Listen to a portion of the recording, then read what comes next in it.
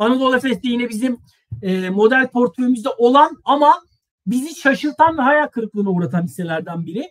E, yani fiyat olarak, çarpan olarak o kadar ucuz ki arkadaşlar. Yani 3 tane hisse say deseniz endekse en ucuz kalmış. E, bir tanesi muhakkak ki Anadolu Efes olacaktır.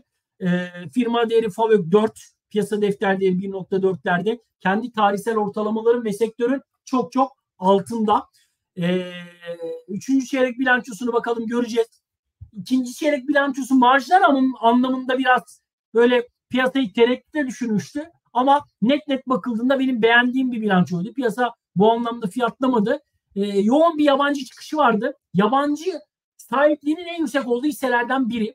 Dolayısıyla bir yabancı çıkışı başladığı zaman piyasada bir trend halindeki Mayıs ayının sonundan beri bunu yaşıyoruz biz.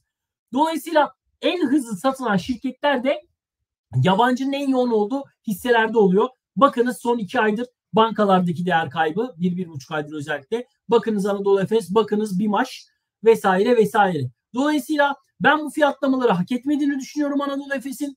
200 günlük ortalama etrafında tutunma çabası bence karşılık bulacak.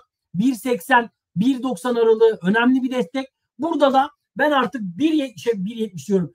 E, 170 seviyesi ne bir stop koyup burada artık ben pozisyon arama tarafındayım.